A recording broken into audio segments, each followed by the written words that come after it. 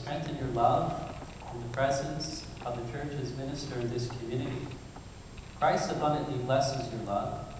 He has already consecrated you in baptism, and now he enriches and strengthens you by this special sacrament, so that you may assume the duties of marriage in mutual and lasting fidelity.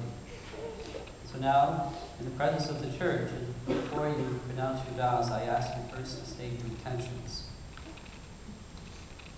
Josh, Lisa, have you come here today freely and without reservation to give yourselves to each other in marriage?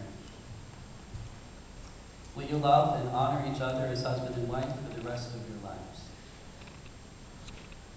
And if it's God's will, will you accept children lovingly from God and bring them up according to the law of Christ and His church?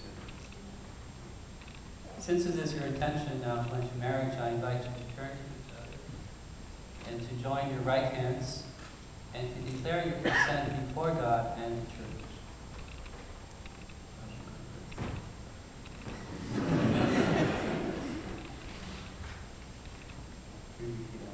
I, Josh, taking Lisa, to be my wife. I promise to be true to you, in good times and bad, in sickness and in health. I will love you and honor you all the days of my life. I, Lisa, take you, Josh, to be my wife. I promise to be true to you, in good times and in bad,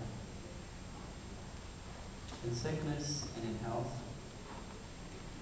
I will love you and honor you all the days of my life.